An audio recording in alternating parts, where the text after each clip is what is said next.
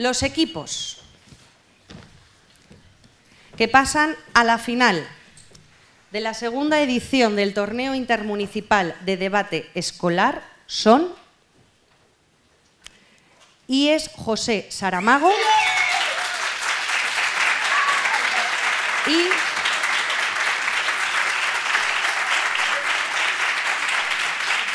Colegio Virgen de Europa.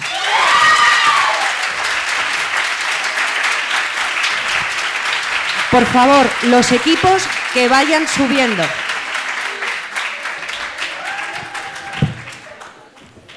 Los equipos que vayan subiendo. Bien, voy a pasar a presentar a los jueces que van a conformar la fase final. Para la final contamos con don Álvaro de la Torre, doctorando en Humanidades, Ciencias Sociales, licenciado en Derecho, Periodismo y Ciencias Políticas, plurilicenciado, coordinador y formador de la Sociedad de Debates de la Universidad Carlos III. Blanca Tejero, periodista, debatiente y cofundadora del Club de Debate Santiago de Compostela, juez en torneos nacionales e internacionales, subcampeona del torneo iberoamericano de debate político. Le acompaña don Francisco Valiente, licenciado en Derecho ADE y Ciencias Políticas, otro plurilicenciado, actualmente doctorando en Derecho y profesor de técnicas de debate en la Universidad Pontificia de Comillas de Madrid, profesor del Máster de Liderazgo y Comunicación de la Fundación Cánovas y del MAICOP. Sigue el don Pablo Carvajosa, licenciado en Filosofía, eh, desde hace más de una década es el coordinador del Club de Debate de la Universidad Pontificia de Comillas de Madrid, autor de varios libros y uno de los mayores expertos en debate de España, habiendo sido organizador y juez imprescindible en los torneos nacionales e internacionales. Oliver Hoffman, licenciado en Ingeniería Informática, experto debatiente, ganador del torneo Guadalquivir, ganador del torneo Isabel de España, formando ahora de los alumnos de la Sociedad de Debates de Francisco de Vitoria, y don Jorge White, coordinador de este torneo, formador de este torneo y de la Sociedad de Debates Francisco de Vitoria, subcampeón del mundo, campeón iberoamericano y campeón nacional. Muchas gracias.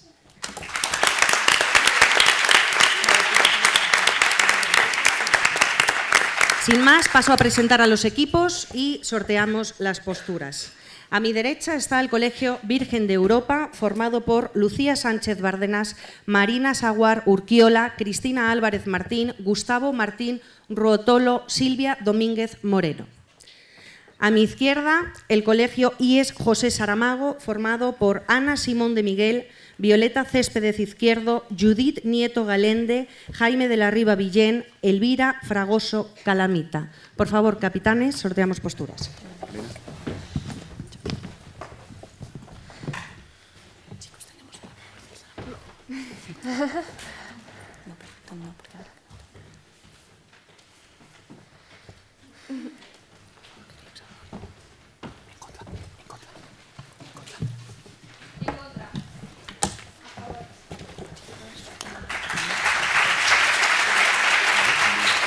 Sin problema el micro. Por lo tanto, para los jueces, les recuerdo, el equipo de la derecha Virgen de Europa defenderá la postura en contra, el equipo de mi izquierda, el equipo IES José Saramago, defenderá la postura a favor. Cuando quieran, mucha suerte a los dos equipos.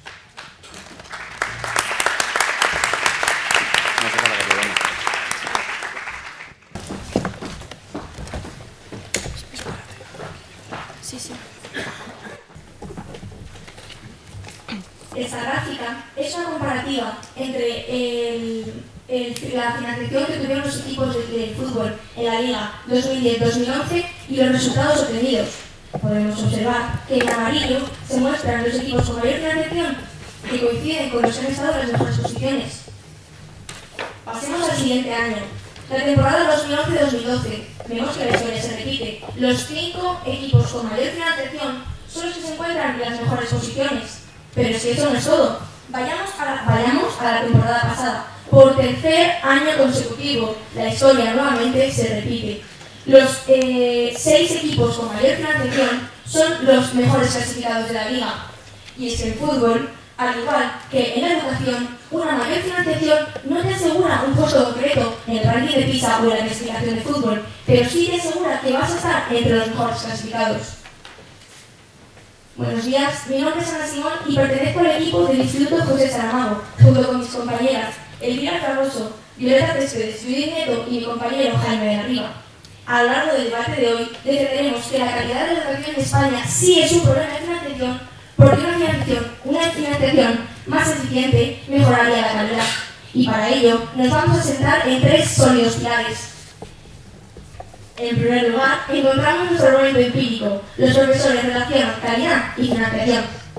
En segundo lugar, nuestro argumento estadístico. Las comunidades autónomas con mayor financiación son las mejores posicionadas en el ranking de PISA. Y en tercer último lugar, pero no por ello menos importante, nuestro argumento político. No existe corresponsabilidad fiscal. Vayamos con el primero de nuestros argumentos. Los profesores no son los encargados de realizar las eh, políticas educativas, pero sí son los que se encargan de llevar estas a cabo y los que están en contacto directo con eh, la realidad de nuestro sistema educativo. En 2013, el sindicato CSIC eh, la Central Sindical Independiente de Funcionarios hizo una encuesta a profesores de secundaria, los cuales contesté, a la cual contestaron con un más del 86% opinan que los recortes están suponiendo un retroceso en la calidad de enseñanza. Señores, existe un amplio consenso entre los profesores de que existe una relación directa entre la financiación y la calidad de nuestro sistema educativo. En segundo lugar, encontramos nuestro argumento estadístico. La manera más fiable para medir la calidad de la educación es fijarse en, las posiciones que ocupamos en los rankings internacionales, como puede ser el ranking de PISA. Eh, más adelante podrán eh, comprobar que las comunidades autónomas españolas que más dinero invierten en educación son aquellas que obtienen mejores eh, resultados, como ya hemos evidenciado en nuestro estudio inicial. Aquellos equipos que tienen mayor financiación son los que se juegan los primeros puestos. Y en tercer último lugar, como ya he comentado, nuestro argumento político no existe con responsabilidad fiscal. Otro de los problemas es el sistema de financiación autonómica. Como ustedes sabrán, es cometido de las comunidades autónomas cómo financiar eh, los fondos recibidos del Estado. Sin embargo, es este último el que se encarga de recaudar los impuestos. Eh, como consecuencia, eh, no se administran con suficiente responsabilidad dichos fondos. Más tarde, mis compañeros eh, respaldarán esta idea con una evidencia del profesor González González de la Universidad de Oviedo. Para terminar, permítanme que retome el caso de la Liga de Fútbol. Al igual que mayor financiación no te asegura un puesto concreto en el ranking de PISA, eh, perdón, sí, mayor eh, no te asegura un puesto concreto en el ranking de PISA, eh, acabaré diciendo que la financiación allá el camino hacia la calidad. Muchísimas gracias.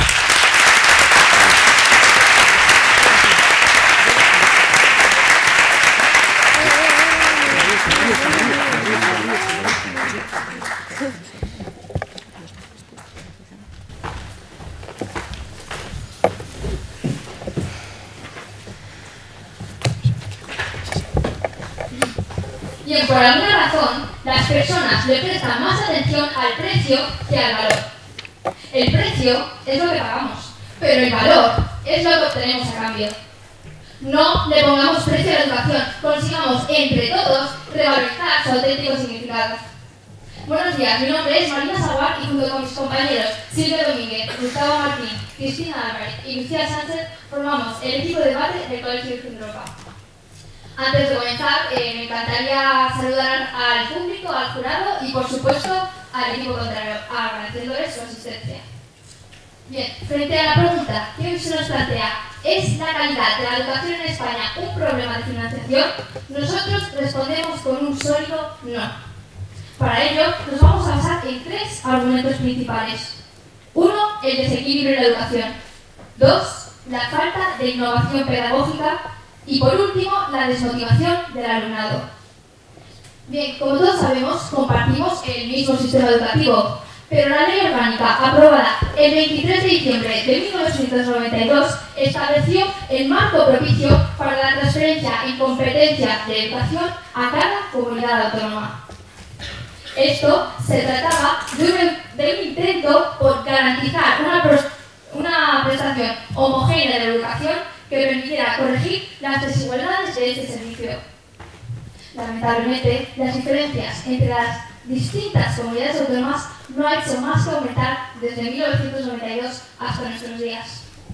Así lo expone el estudio realizado por la Fundación BBVA y el INE que analiza nuestro sistema a partir de los datos del informe PISA y que dice así.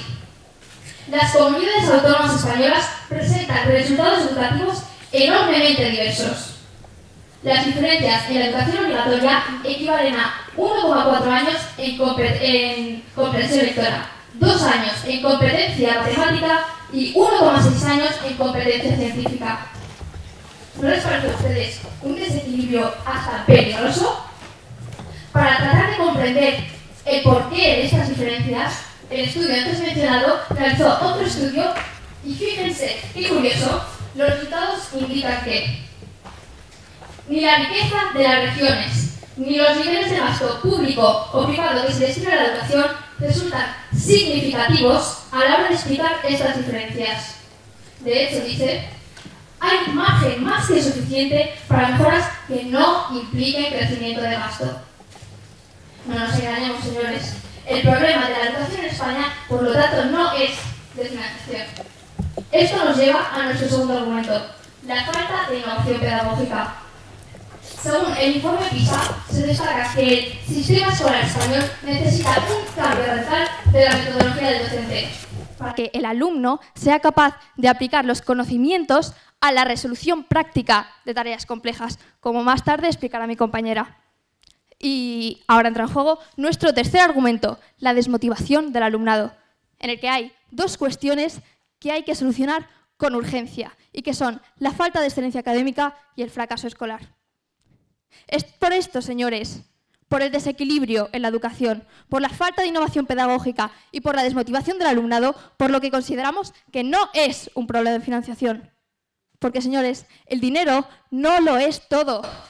Podremos comprar una cama, pero no podremos comprar el sueño. Podremos comprar un reloj, pero no podremos comprar el tiempo. Podremos comprar un libro, pero no la inteligencia. Porque, señores, podremos mejorar nuestros resultados educativos, pero ¿creen que será bastante? Nosotros estamos convencidos de que no. Muchas gracias.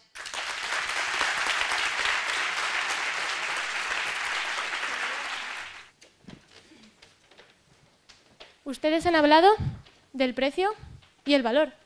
Buenos días. Mi nombre es Violeta Céspedes y en este turno de refutación me gustaría hacer tres cosas. En primer lugar, rebatir las ideas del equipo contrario, continuar desarrollando los argumentos expuestos por mi compañera Ana y responder las preguntas que tengan a bien formularme. Ustedes nos han hablado de un desequilibrio en la educación, precisamente con unas evidencias de, de las comunidades autónomas. Y eso coincide con nuestro tercer argumento, el argumento político, que no existe corresponsabilidad fiscal, con lo cual, es decir, ¿qué significa esto? Que las comunidades autónomas gastan pero no recaudan. El que tiene que recaudar es el Estado a través de los impuestos. Y por ello, las comunidades autónomas no soportan la carga en el coste electoral que supondría. Con lo cual, vemos que es un problema de financiación. También nos han hablado de la innovación pedagógica. ¿Y cómo podemos cambiar la metodología, señores? Nosotros estamos de acuerdo en cambiarla, pero habrá que formar a los profesores, habrá que buscar nuevos métodos de enseñanza, habrá que utilizar nuevas tecnologías y todo eso supone un coste. ¿Cómo, cómo vamos a conseguir mejorar em, a nuestros profesores? ¿Cómo vamos a conseguir las nuevas tecnologías? Necesitamos, necesitaremos dinero. Y también nos han hablado de la desmotivación, el fracaso escolar. Pero señores, el fracaso escolar se ha reducido. A lo largo de estos últimos años, desde 2009, el, el fracaso escolar se ha ido eh, de, reduciendo, con lo cual no entendemos de qué problema nos habla. Además, nos han hablado de otros problemas, uy, perdón, como la motivación. Pero, señores, ¿cómo vamos a motivar a nuestros alumnos? Podemos pagarles talleres, contratar coordinadores que les orienten. Señores, esto también es financiación. Por todo esto, porque una financiación más eficiente, una gestión de los recursos mejor, aumentaría la calidad, nosotros Creemos que este es el mayor problema de la educación española. Y me gustaría pasar a nuestro argumento estadístico, las comunidades autónomas que realizan un mayor gasto por alumno son las que tienen mejores resultados en PISA. Dígame. ¿Cómo justifica entonces que Pablo Zoido, experto en PISA, haya dicho que gastar más no garantiza mejores resultados educativos? Es que, señores, no solo queremos gastar más, queremos gastar mejor. Veamos, tenemos una financiación, tenemos una fiesta y queremos, tenemos, disponemos de 2.000 euros.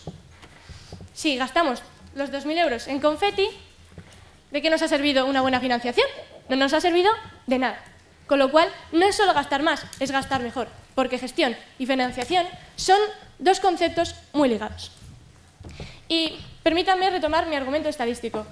No puedo enseñároslo muy bien, pero en él se evidencia que de las cuatro comunidades que gastan por debajo de la media española, tres de ellas obtienen mejores resultados en PISA, con la excepción de Madrid.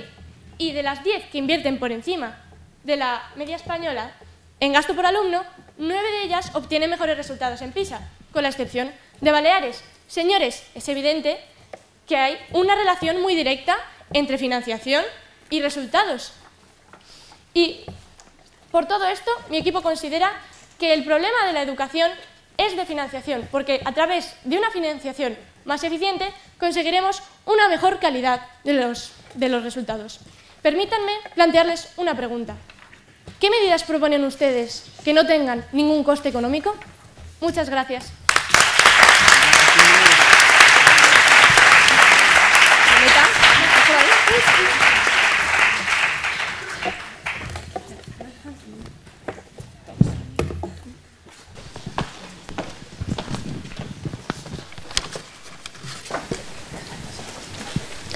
Dicen que la financiación allana el camino. Sin embargo, no es la financiación la que emprende dicho camino, somos nosotros y a nosotros no se nos puede comprar. Buenos días, mi nombre es Lucía Sánchez y continuaré con la primera, con la primera refutación de mi equipo. Eh, hacían mención a que, la, a que la gestión y la, y la financiación están completamente ligados. Sin embargo, la RAE define financiación como acción y efecto de financiar. No vemos por ningún lado la gestión y, por lo tanto, no está ligada a la financiación, a no ser que puedan explicar lo contrario. Eh, con respecto a su argumento político, verdaderamente pensamos que esto se sale del tema de debate. Es un tema que no hemos venido a tratar hoy aquí. La política no tiene nada que ver con la calidad de la educación, puesto que los políticos no están formados en la materia, no pueden. No podemos justificar a los políticos como la culpa de que la calidad de la educación en España sea tan baja. A continuación, me gustaría mostrar cómo su argumento empírico carece de significado. Podemos mejorar a los profesores, pero sin con financiación pretenden mejorar a los profesores, pero sin embargo, tenemos el ejemplo del, del aula 2.0, que se llevó a cabo en Barcelona. Se invirtieron millones de euros en ordenadores para cada uno de los alumnos. Sin embargo, no se formó a los profesores, no se crearon recursos que habilitaran la, tecnología, es decir, no se crearon libros de texto que pudieran aplicarse a, los ordenadores y por lo tanto este proyecto fracasó. La financiación no pudo mejorar la calidad de la educación española. Eh, a continuación me gustaría seguir con mi línea argumental y tratar el tema de la falta de innovación pedagógica. Hay 700.000 profesores en España. Con, respecto a lo que ha dicho de la relación entre financiación y gestión, sin financiación, ¿qué gestionaría usted? No estoy diciendo que... No estoy diciendo que la gestión no se lleve a cabo por financiación. Estoy diciendo que no están ligados, tal como he demostrado. Eh, vale, es decir, la gestión se lleva a cabo con dinero, pero no con financiación. La financiación es poner dinero y observar su efecto, no la organización de dicho dinero. Eh, bien, continuando. 700.000 profesores. De estos 700.000 profesores, un, un 66% son mayores de 40 años en la educación primaria, en la educación secundaria pública. Y la media de la OCDE de, de profesores mayores de 40 años es de 37,7%. Obviamente, lo que justifican estos porcentajes es que el profesorado español tiene una gran experiencia. Sin embargo, la experiencia que tienen está obsoleta y si queremos cambiar los métodos de enseñanza, tendremos que cambiar a los profesores. Y esto no se puede cambiar con financiación. No podremos forzar a un profesor a que cambie sus métodos de enseñanza por darle más dinero. Demográficamente hablando, la natalidad en España se ha reducido desde el 2004 hasta hoy. Bueno, no pueden verlo, pero se ha reducido eh, desde el 2004 hasta hoy. Y por lo tanto, mirando al futuro, que es lo que estamos haciendo, no mirar al presente, porque no se puede cambiar ahora mismo, estamos mirando al futuro y en el futuro habrá menos alumnos. Y por lo tanto, el ratio de profesores por, por alumno también disminuirá. Y es algo que la financiación tampoco puede justificar, porque no podremos despedir a todos los profesores que sobren en un futuro. No podremos pagarles la jubilación anticipada. Muchas gracias.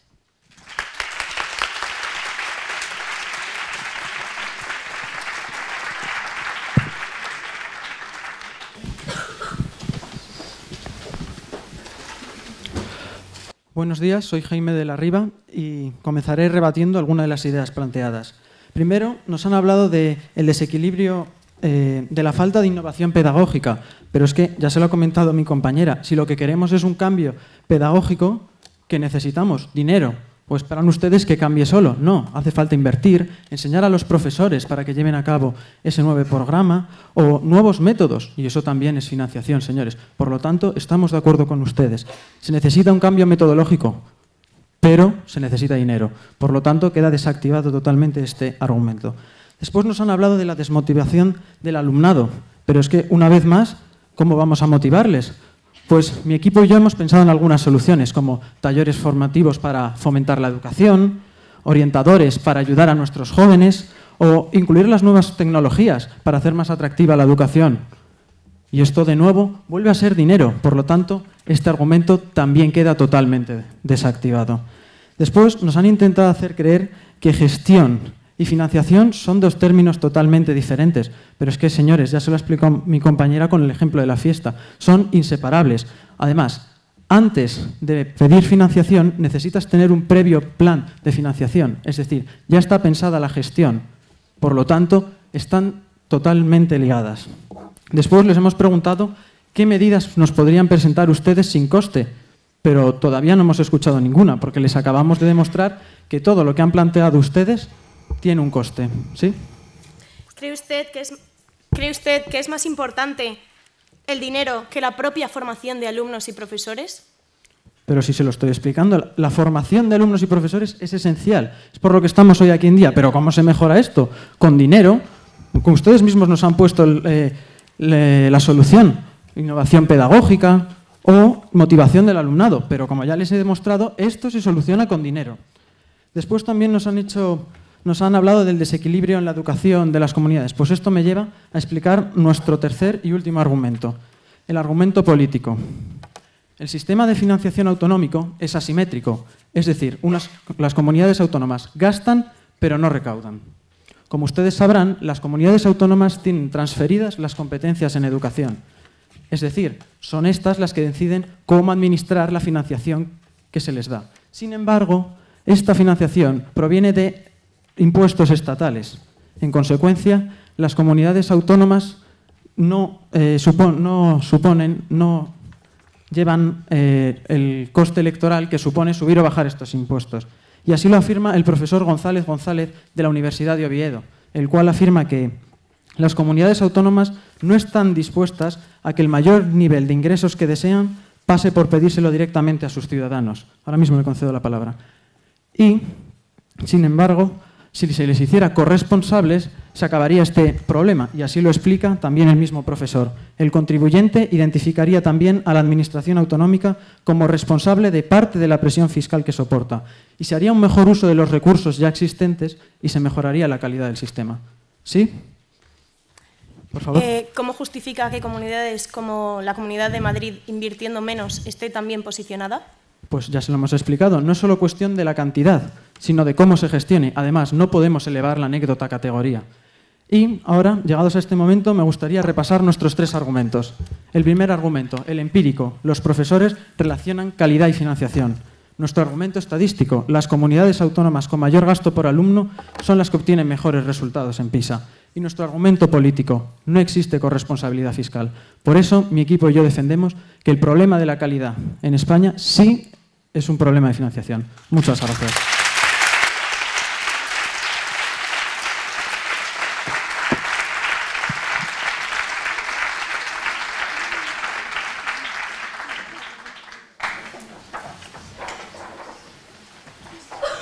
Buenos días, mi nombre es Cristina Álvarez. Comenzaré refutando algunos de los argumentos expuestos por el equipo contrario. Ustedes, en su segundo argumento, el argumento estadístico, nos han dicho que los países con más coste, es decir, que más invierten, están mejor posicionados. Bien, le repito lo que ha dicho mi compañera. Miren el ejemplo de Suecia. Es el país que más invierte en educación, un 7% de su PIB. Y sin embargo, si observan esta gráfica, pueden ver a su izquierda, el tanto por ciento de alumnos rezagados y a su derecha, el tanto por ciento de alumnos excelentes.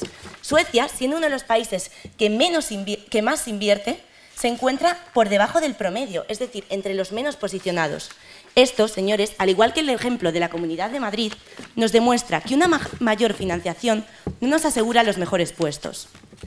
Madrid es la comunidad con menos gasto educativo por habitante, y una de las que menos gasta por sanidad y por habitante. Sin embargo, la calidad de los servicios sanitarios y educativos de Madrid es significativamente superior a la de muchas otras comunidades, según el Ministerio de Educación, por lo que esto nos vuelve a llevar a lo mismo. También nos han dicho que eh, para motivar a un alumno necesitamos de una mayor financiación. Pero es que, señores, se trata de un problema más profundo, se trata de un problema de metodología, eh, y para esto voy a entrar en juego nuestro tercer argumento, la desmotivación del alumnado. Una de las dificultades más importantes a las que se enfrenta un docente es la de tener que enseñar a aquellos alumnos que no muestran interés por lo que se les propone en clase. A esta situación de desmotivación se le suelen sumar problemas de conducta y, por supuesto, retrasos del aprendizaje. Y, desgraciadamente, esto se ve reflejado en las tasas del fracaso escolar.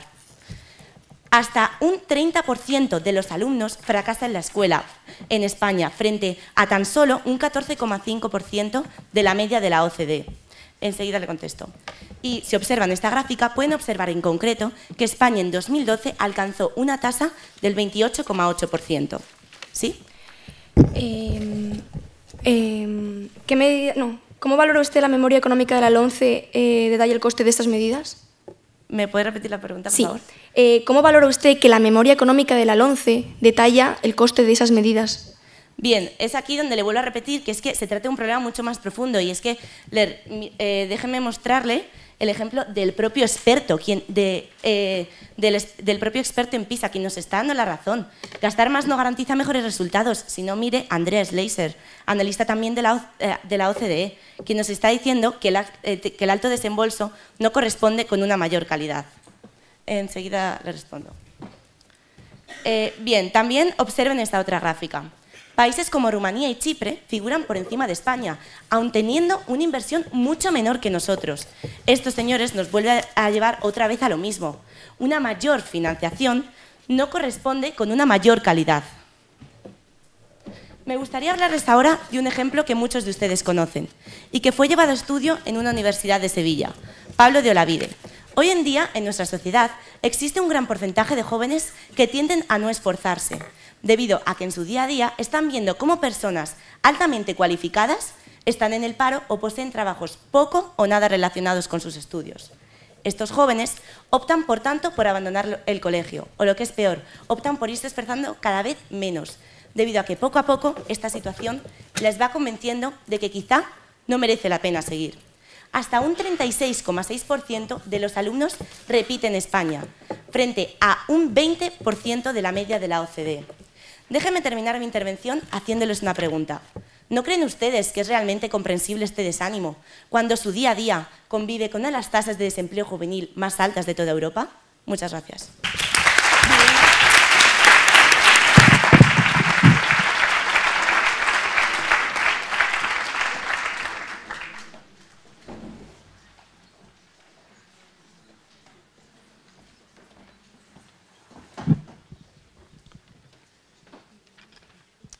Buenos días, mi nombre es Gustavo Martín. Antes de comenzar con nuestra última intervención, me gustaría señalar lo fructífero, lo fructífero e interesante que ha sido este debate para todos nosotros. Para finalizar con este intenso debate en el cual hemos respondido a la siguiente pregunta. ¿Es la calidad de la educación en España un problema de financiación? Nuestro equipo ha respondido con fuerza que no. En cambio, el equipo contrario ha intentado convencernos de que sí es un problema de financiación. Sin embargo, nosotros hemos eh, dejado perfectamente claro que no es un problema de financiación, ya que, tal como hemos podido mostrar en su primer argumento, por ejemplo, en el cual nos dicen que la, eh, la gestión y la financiación están totalmente relacionadas, eh, es cierto, estamos en, en cierta parte estamos, tenemos un punto en común. Tienen algo similar, sin embargo, tal como se puede observar en la RAE, la financiación es sencillamente el acto y efecto de financiar, no la gestión. No tiene rotundamente, está parcialmente conectado, pero no del todo. En segundo lugar, nos han hablado de su argumento estadístico, en el cual lo único que he podido observar es que han generalizado. Señores, no todos los casos son similares, siempre hay excepciones. Posteriormente, eh, nos han hablado de su argumento empírico, en el cual han relacionado la financiación con la calidad. Este argumento ha quedado totalmente demostrado cuando hemos puesto el caso del proyecto eh, del aula 2.0, en el que la financiación, por mucho que se usó, no obtuvo ningún resultado. En cambio, nosotros dejamos perfectamente claro que, sí es un, que no es un problema de financiación. Para ello, nos hemos basado en nuestros tres sólidos argumentos. El desequilibrio de la educación, la falta de innovación pedagógica y la desmotivación del alumnado. En el desequilibrio de la educación, el primer argumento, hemos, eh, hemos hecho mención a los estudios de la Fundación BBVA, en el cual hacíamos ver las increíbles diferencias dentro de, nuestra propia educación. En segundo lugar, hemos hablado de la falta de innovación pedagógica, la cual viene provocada por un envejecimiento significativo del profesorado español. Eh, lo, que, hemos podido demostrar con estudios eh, del los estudios económicos de educación, de educación de la OCDE. En tercer y último lugar, hemos hablado de la desmotivación del alumnado, la cual se ve reflejada en una de las tasas de abandono escolar más altas de toda la Unión Europea, siendo un 30% en España frente a un 20%, como dice mi compañera de la OCDE, eh, de la Unión Europea. Eh, esto, unido a los malos resultados de excelencia académica, nos muestra una situación muy preocupante de nuestra educación. Señores, me gustaría finalizar este debate con la oración con la que lo empezó mi compañera. El precio es lo que se paga, el valor es lo que se obtiene. Señores, nosotros no queremos ponerle precio a nuestra educación, nosotros queremos dignificarla y revalorizarla. Muchas gracias.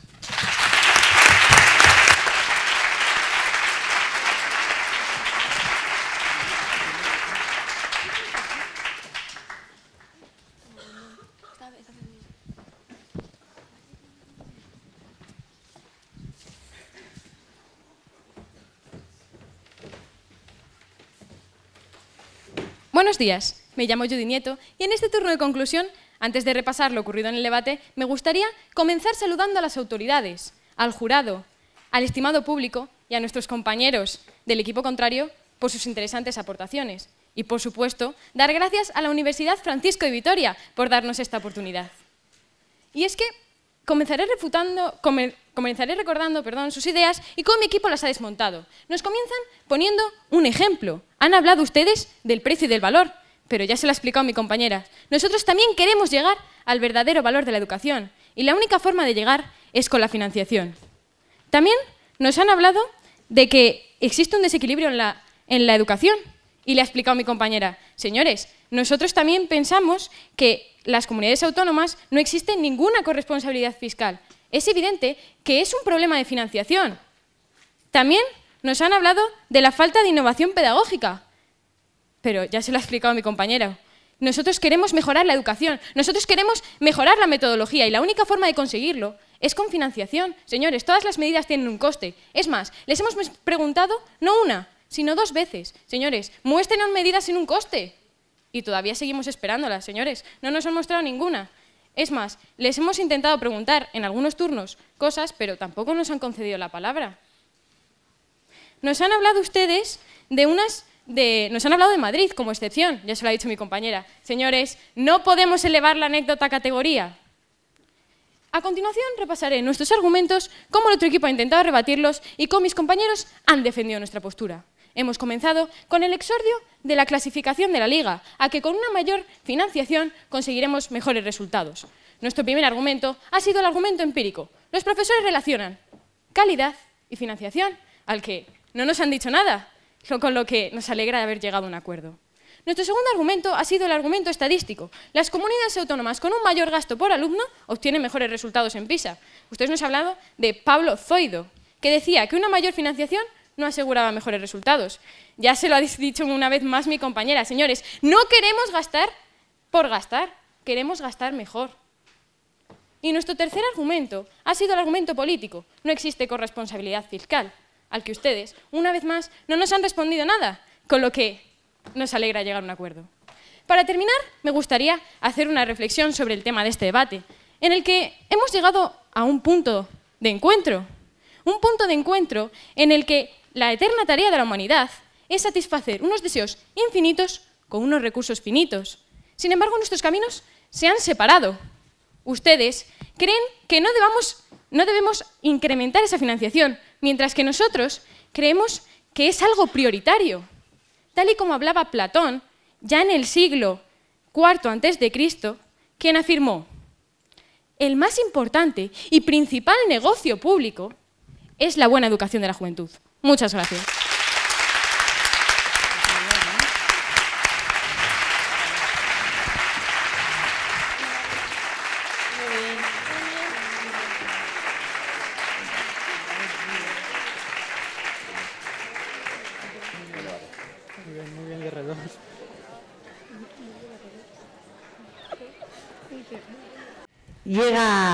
Parte final de este momento tan esperado por todos, no solamente por los nervios, sino por un larguísimo trabajo que hemos hecho en compañía a lo largo de estos meses. A mí me corresponde una de las partes eh, más gratas, que es la de, una vez más, y no me cansaré, hacer los agradecimientos oportunos. Como sabéis, esta es la segunda edición. Eh, la primera edición que celebramos el año pasado fue un sueño, fue poner un germen y una semilla, porque había muchas personas que creían en este proyecto, que creían en todos y cada uno de vosotros, que creen que hay esperanza y que sois el futuro. Esas personas, sin duda, fueron en primera instancia vuestros profesores, seguidos de los directores de todos de vuestros colegios y, cómo no, con el apoyo imprescindible e inquebrantable de los responsables políticos y municipales a ese apoyo nos sumamos la Universidad Francisco de Vitoria para hacer realidad un sueño, y era que en torno a una actividad y a una excusa pudiéramos estar toda la comunidad educativa, de esto trataba el debate, juntos. Somos conscientes que si esto empieza a germinar, como lo estamos viendo ahora, sin lugar a dudas, el futuro será muchísimo mejor porque cada vez estáis más preparados y porque esta actividad, como hoy habéis demostrado y los días anteriores, no se trata de hablar mucho, sino de tener algo que decir. No se trata de ser muy brillante, sino de intentar apuntar y apuntalar la verdad allá donde esté y donde se encuentre. Por lo tanto, nuestro agradecimiento, insisto, a vuestros faros y guías que han sido todos los formadores, a todos los directores de los centros educativos públicos, privados y concertados, y obviamente a los municipios de Las Rozas, Majadahonda, Boadilla, Madrid, Torrelodones y Pozuelo, sin cuyo esfuerzo hubiera sido absolutamente imposible llevar a cabo esta tarea y esta misión. Yo em, quiero eh, finalizar esta intervención simplemente apuntando un par de datos. Uno de ellos es que sepáis eh, cuántas personas han trabajado en este proyecto a la sombra no sabéis sus nombres y sus apellidos, pero han trabajado con un amor infinito y además de una manera absolutamente desinteresada. Han formado parte de esta organización más de 100 personas, entre jueces, jefes de sala, que algunos son compañeros vuestros, otros alumnos de la Universidad Francisco de Vitoria y obviamente esta universidad que ha sido la casa, que a partir de ahora es vuestra casa también y que ha hecho un trabajo enorme. Me complace presentar a la mesa de hoy, que es muestra de la gratitud y de la importancia que le dan a este tipo de actividades. Preside la mesa nuestro rector, don Daniel Sada, y le acompañan doña Mar Paños, concejal de Educación del Ayuntamiento de Boadilla, don Carlos Ulecia, concejal de Educación del Ayuntamiento Pozuelo de Alarcón, doña Elena Biurrun, alcaldesa de Torrelodones, doña Esperanza García, directora general de Familia, Infancia, Educación y Juventud del Ayuntamiento de Madrid, doña Mercedes Piera, concejal de Educación del Ayuntamiento de Las Rozas, y don José Antonio Carnevali, primer teniente de alcalde Majadahonda. Cedo la palabra al rector Daniel Sada. Muchísimas gracias. Yo eh, me reservo para el final, para las últimas palabras, eh, pero no quiero dejar de, dar a todos la bienvenida en una cosa que es eh, una gozada que suceda, porque normalmente dedicamos el tiempo y el esfuerzo y las energías y la tensión a cosas que, que, luego uno se queda pensando esto habrá merecido la pena. Y sin embargo, hay algunas que merecen la pena seguro. Merece la pena lo que pasa hoy. Todos lo percibimos, unos como espectadores, mucha gente como personas cercanas vuestras que os quieren, educadores y padres, instituciones que tenemos responsabilidades y que nos damos cuenta que a esto merece la pena dedicarle tiempo. Eh, así es que nos congratulamos de estar aquí, os, os felicitamos por la, por la, participación a todos y a, a, todos los que estáis y a todos los que han estado viniendo estos días. Y, eh, y voy a ir dando la palabra a los representantes de todas las instituciones que nos acompañan a los que quiero eh, agradecer de verdad su presencia hoy aquí con nosotros. Tiene la palabra Elena Biurrum, alcaldesa de Torrelodones. Buenas tardes ya. Eh, en primer lugar, muchísimas gracias. Agradecer a la Universidad Francisco Vitoria la invitación. Eh, personalmente quiero agradecer a la Macarena Botella. Pude venir finalmente. Eh, Tampoco quiero eh, alargarme demasiado porque creo que prácticamente vamos a venir a decir todos lo mismo. Una iniciativa como esta es fundamental y muy necesaria. Y he llegado, me he sentado ahí atrás, he estado viendo un rato y es un gran nivel lo que me he encontrado aquí. Y como estaba contando entre bambalinas, mucho más nivel de lo que muchas veces nos encontramos en primera línea en nuestro día a día. Por tanto, creo que es fundamental seguir potenciando esto, agradecer la iniciativa y esperar poder contar, o sea, que sé que contaréis con Torrelodones en próximas, eh, en próximas eh, llamamientos. Quiero desde aquí mostrar mi, mi, cariño al Colegio San Ignacio de Loyola, es de Torrelodones y por tanto, lo siento, es mi cole, pero tengo que reconocer que tengo el corazón partido porque he visto que también está el Liceo Sorolla C, colegio en el que he estudiado 14 años de mi vida, por tanto también, bueno, pues desde aquí mis saludos y mi cariño. Muchas gracias. Gracias.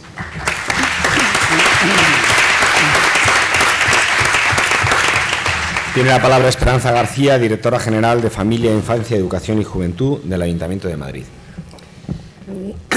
Buenos días. Da un poquito vértigo tomar la palabra hoy aquí, porque yo no he tenido la suerte ni cuando estudié, cuando era pequeña, ni, ni siquiera en la universidad, de poder haber participado en, en, un, en unos debates como los que hoy hemos visto aquí y lo bien que lo han hecho.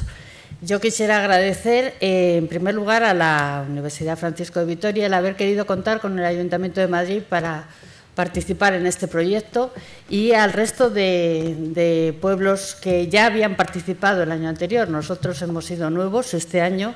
Eh, tenía mucho miedo aquí la concejala de las Rozas de que incluso nos fuéramos a llevar el premio. No ha sido así, pero eh, yo creo que todos hemos quedado en un, en un, altísimo nivel y estupendamente. Quiero felicitar fundamentalmente a todos los alumnos que habéis participado, a los profesores, a los colegios, a los padres que han dedicado su esfuerzo a que vosotros hayáis podido estar hoy aquí y fundamentalmente a la universidad porque eh, es la verdadera artífice de este proyecto. Muchas gracias.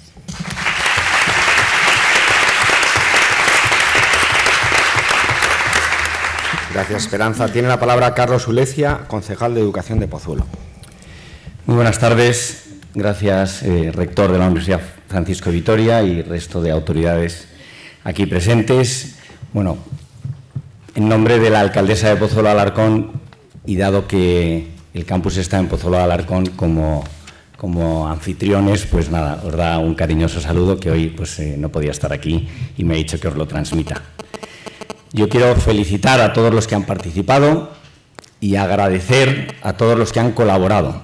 Y quería hacer un especial agradecimiento hacia el jurado, porque creo que la labor más difícil después de ser eh, miembro de un equipo, evidentemente, o formador de un equipo, pues es la, la labor del jurado. Jurado con el que porque va en la naturaleza, nunca estamos de acuerdo si eh, perdemos. Lógicamente, si ganamos, estamos 100% de acuerdo con ellos. Entonces, yo creo que esa labor que, muchas veces, pues, en fin, es callada, eh, pues quería ponerla aquí, aquí en, valor. ¿no? Yo quería contar una, una, pequeña anécdota de Chesterton, que dicen que era, bueno, Chesterton era, en fin, un hombre gordo, bonachón, muy buen escritor, con cierta ironía, y dicen que una, y era muy despistado, y entonces iba una vez en el tren, y entonces eh, de repente vio que venía el revisor, y entonces pues empezó a, pues, a palparse la chaqueta, y, en fin, lógicamente, eh, buscando el billete de tren y el revisor que le veía mm, de lejos, mientras iba picando los billetes, pues veía cómo se iba poniendo nervioso. Cuando ya llegó a su altura le dijo, no se preocupe señor, que no le voy a pedir el billete. Y entonces Chesterton contestó, no, no, si lo que, lo, que, me preocupa no es dónde tengo el billete, sino a dónde voy. ¿eh? Bueno, yo creo que estos muchachos que han debatido aquí, pues eh, solo con el hecho de prepararse los temas, de buscar argumentaciones, de, bueno, en el fondo de pensar pues creo que han puesto muchas bases para, para saber dónde van. Y me parece que pues, uno de los méritos quizá de esta actividad y de este torneo es eh, bueno, pues todo el bagaje que tiene detrás de formación intelectual de, los alumnos. Y yo por eso pues, eh, os felicito y os animo a que los que tenéis que abandonar el torneo porque habéis hecho primero bachillerato, pues animéis en vuestro colegio a los de cuarto de secundaria. Muchas felicidades a todos.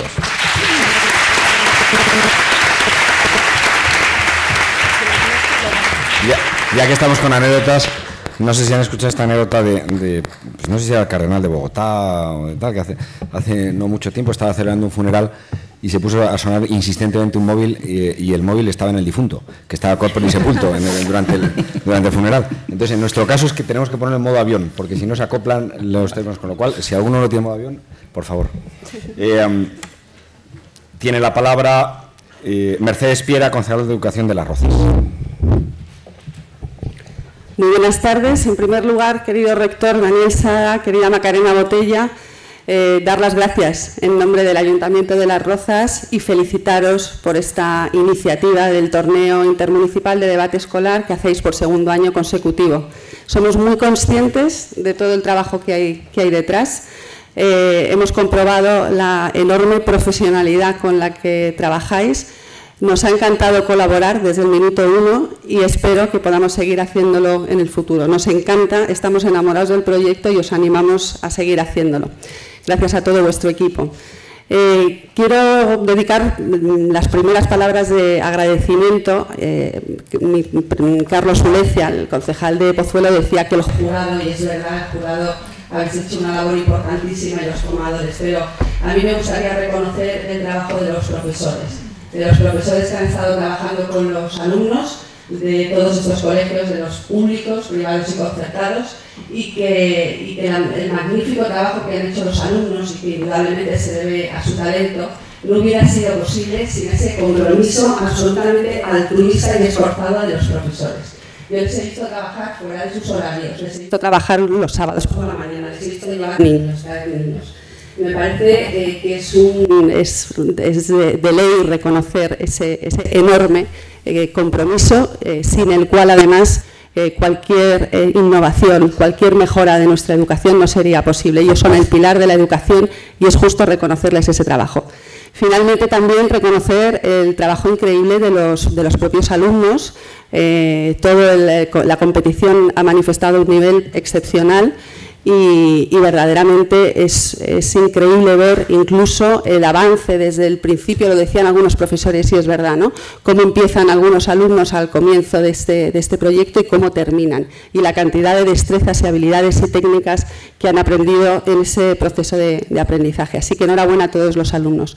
Yo, como no podía ser de otra manera, quiero mandar un beso muy especial a los centros educativos de Las Rozas, a los dos colegios, a los dos equipos del, del Instituto Burgo, al equipo del Carmen Conde, que han estado a punto de entrar en semifinales y que nos hemos llevado una enorme decepción, pero hay que aprender a aceptar todos los resultados. Enhorabuena por ese magnífico trabajo que habéis hecho y enhorabuena también al gran papel que han desempeñado el Colegio Berriz y el Colegio Orvalle, eh, ambos de las Rozas.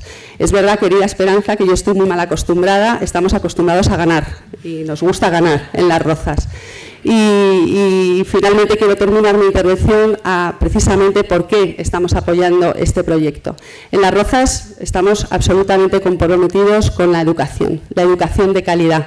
Y somos muy conscientes de que, a pesar de las, eh, del esforzado trabajo y del buen trabajo que hacen los docentes, los profesionales, hay enormes retos que tiene la educación para que nuestros alumnos, nuestros hijos, eh, sean profesionales buenos y competitivos en un mundo cada vez más global. En ese sentido, estamos firmemente comprometidos con complementar la educación de nuestros alumnos en tres ámbitos. Uno, el de los idiomas. En Las Rozas, de los diez colegios públicos que hay, ocho son ya oficialmente bilingües. De los cuatro institutos que tenemos, dos son oficialmente bilingües. Y allí, donde no llega el programa oficial de bilingüismo, el ayuntamiento está poniendo medios para que los alumnos aprendan desde pequeños a manejar el inglés. Estamos comprometidos también con la educación en habilidades directivas en habilidades de comunicación. Sabemos que estas destrezas, que estas habilidades que no se trabajan adecuadamente en los colegios hoy en día, van a ser indispensables para que nuestros alumnos se eh, desarrollen con competitividad en el futuro. Hagan lo que hagan, sea cual sea el camino que emprendan, es fundamental que aprendan ese tipo de habilidades que este torneo eh, nos brinda. Y finalmente estamos trabajando también para que nuestros alumnos completen su formación en materia de tecnologías, de robótica y demás. No me quiero extender porque eh, eh, estaría aquí tres horas hablando porque es un, tema que me apasiona. Y solamente terminar dando las gracias a las familias que apoyáis estos proyectos, a los alumnos, a los profesores y a la universidad por vuestra iniciativa. Muchas gracias.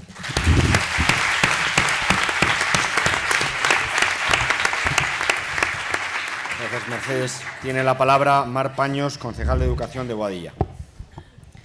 Muchas gracias. Buenas tardes a todos. Yo bueno, quiero empezar agradeciendo a la Universidad Francisco de Victoria en la figura de su rector, de Macarena Botella y de todo este equipo de personas que hemos podido ver durante estos días en que se ha organizado el debate y durante todos estos meses en que han estado preparando y ayudando a los centros y a los equipos a formarse, a conocer las técnicas de debate, etc., quiero darles las gracias y felicitarles por la iniciativa. Porque, como ya ha dicho alguno de mis compañeros en esta mesa, en, en la época en que nosotros estudiábamos no tuvimos la oportunidad de practicar este tipo de habilidades, de debatir, de buscar argumentos, buscar datos, información, tener capacidad analítica y crítica, como hemos visto esta mañana aquí en este último debate, eh, que hacían los dos equipos, que nos presentaban los datos que habían encontrado, pero relacionándolos con las posturas y argumentos que ellos defendían. Es decir, eh, han adquirido una serie de habilidades que no solo le van a servir en su etapa educativa, personal y profesional, les van a servir toda su vida y en muchos y distintos escenarios. Por lo tanto, felicitarles por llevar y extender este tipo de iniciativas a los colegios. Luego felicitar a los propios colegios, a sus equipos directivos, profesores, alumnos y a los padres por implicarse, por querer participar en esto y darles mayores oportunidades a los jóvenes, mayores oportunidades de tener más habilidades y más posibilidades de, eh, prosperar y de buscar iniciativas en la vida. Y, por supuesto, quiero felicitar a los tres colegios de, de Boadilla que han participado en el torneo, Eurocolegio Casby, ELADE y especialmente al Virgen de Europa, que hemos visto aquí como finalista hace unos minutos. Y bueno, animaros a seguir a todos participando y que animéis a vuestros compañeros para el próximo año, que se apunten muchísimos más equipos. Muchas gracias.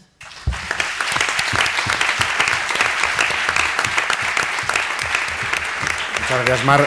Tiene la palabra José Antonio Carnevali, primer teniente de alcalde de Majadahonda. Muchas gracias, rector. Eh, buenos días a todos. Eh, quiero agradecer a Francisco de Vitoria la oportunidad que ha dado al Ayuntamiento de participar en este proyecto. Es un proyecto magnífico. Quiero también saludar a todos mis queridos colegas de consistorios. Y bueno, esto habla el último, como estamos entre expertos de esto de la palabra, pues ya sabéis lo que significa, ¿no?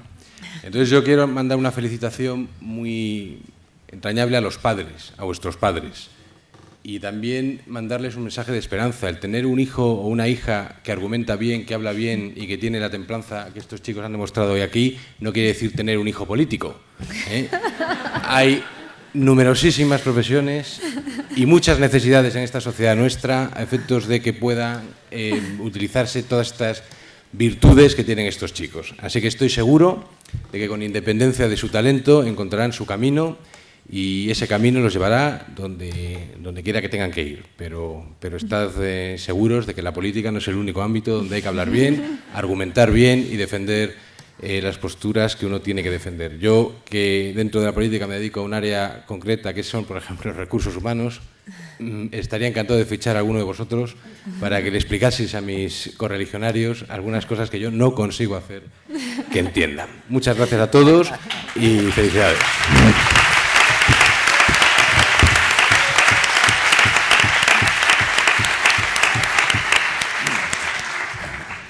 Cristina va a dirigir el acto de, de entrega de premios.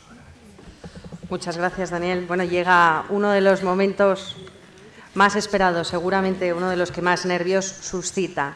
Vamos a proceder a la entrega de premios y os recordamos que después se dará paso a la clausura del acto con unas palabras.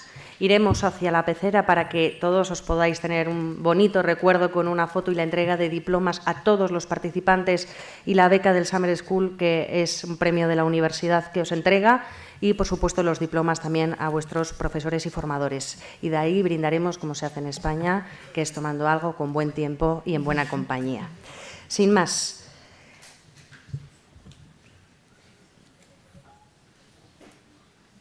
Excelentísimo rector, alcaldes y concejales de la mesa, procedo a entregar el premio al mejor orador.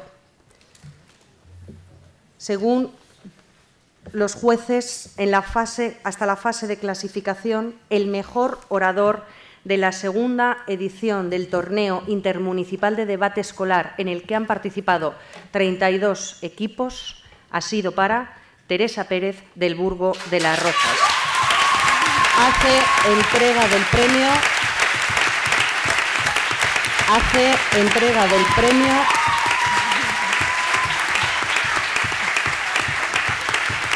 hace entrega del premio doña Mercedes Piera, concejal de Educación del Ayuntamiento de Las Rozas.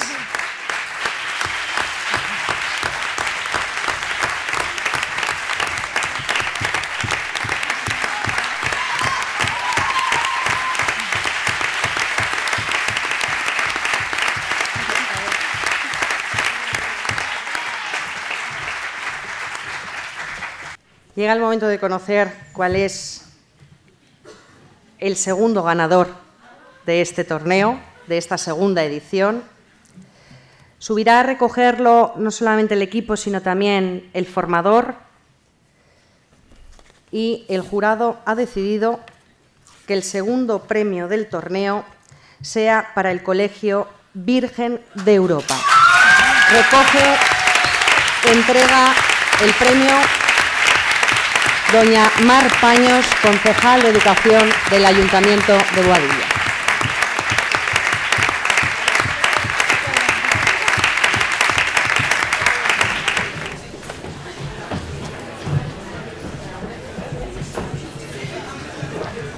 Os hacemos ahora una fotito ahí, miráis.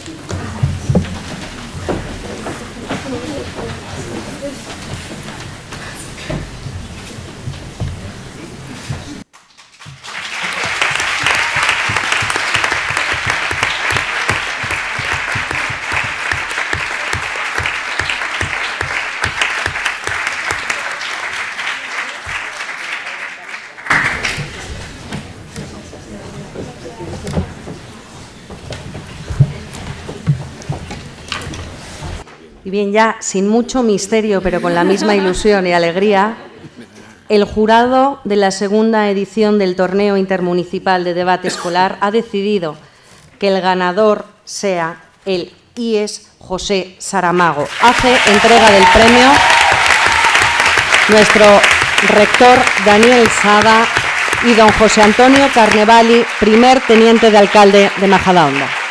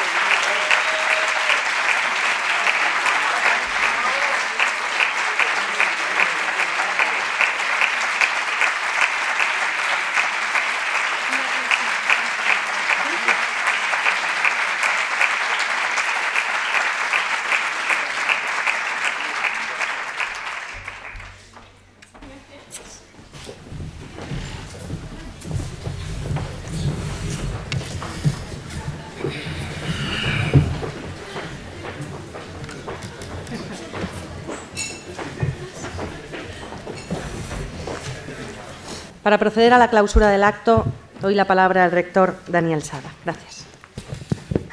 Pues eh, me gustaría explicar por qué la universidad eh, quiere apostar por esto y va a seguir apostando por esto e, intentará, junto con todas las inst- instituciones, provocar que las siguientes ediciones sean todavía más intensas, participe más gente, mejoren todo lo que puedan mejorar y, y cumplan la función para, para las que todos lo hemos pensado.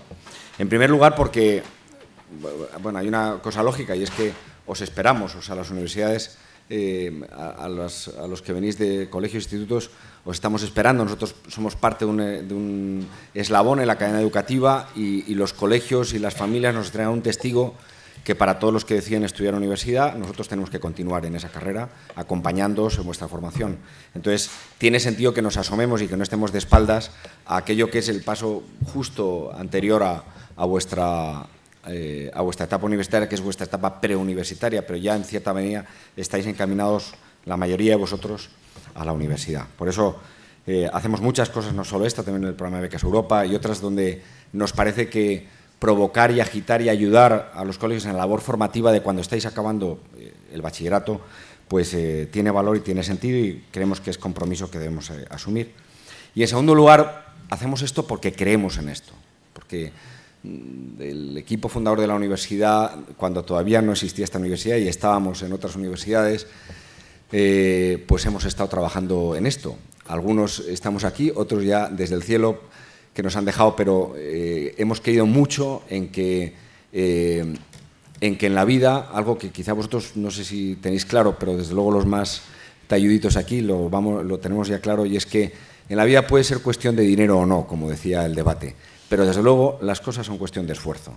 Esto de que al final en la vida es un, un 10% de inspiración y un 90% de transpiración, la camiseta hay que sudarla y uno decide a qué le quiere dedicar esfuerzo en la vida y tiempo y energías. Uno es libre de hacerlo y, y tiene que saber, eh, pues tiene que saber que seguramente es más fácil estar en casa viendo la televisión hoy, seguro. Y es más fácil para los señores concejales y, demás estar en algún sitio. Los alcaldes no están aquí, la mayoría, salvo la que no se presenta a, a las europeas, pues el resto de alcaldes están en campaña y trabajando en lo suyo, que es la política. Eh, el año pasado estuvieron aquí acompañándonos. En fin, y vuestros padres probablemente tendrían algún plan mejor que hacer, porque siempre hay algún partido de pádel o de alguna cosa que se puede jugar, y, y los formadores, voluntarios y demás también tendrían. Entonces, y vosotros mismos tendréis otras alternativas. Entonces, habéis elegido, y muchos alrededor de vosotros os hemos acompañado, habéis elegido estar aquí, dedicar tiempo a esto, dedicar esfuerzo. ¿Por qué? Pues, eh, pues porque habéis intuido que aquí hay algo que os aporta valor y que os permite aportar valor a otros o que os permite aportar valor con otros. Porque lo importante y la fuerza del debate no es si, soy muy brillante eh, eh, venciendo eh, o si soy muy brillante convenciendo, sino lo importante es que me puedo encontrar con otros, puedo buscar la verdad con otros y me doy cuenta de que las cosas cuando se piensan y cuando se razonan, que para eso se nos ha dado la cabeza, cambian, porque en vez de reaccionar y manejar la realidad como una cosa superficial, nos damos cuenta que detrás de las cosas no son tan fáciles a primera vista, como por ejemplo en este debate donde según ibais hablando, a mí que estoy en primera persona implicado con el mundo de la educación, me daba cuenta de que había muchas cosas que yo mismo me, discutiría a mí mismo, porque las he pensado de una manera y con algunas cosas que habéis dicho me habéis hecho eh, dudar de si estoy muy seguro de eso. Yo eso lo tengo que, repensar. Bueno, todo esto para decir que gracias, que felicidades, que ese esfuerzo aquí lo bueno, o por lo que yo creo que esto sale bien y huele bien, es porque este esfuerzo lo asume mucha gente. Este esfuerzo eh, lo asumen vuestros padres porque están detrás de vosotros y porque os permiten, aunque sea trayéndoos aquí y animándoos en casa y diciendo ánimo y tal, os permiten que esto sea así, con el compromiso que los padres tenemos con la, con la educación de nuestros hijos.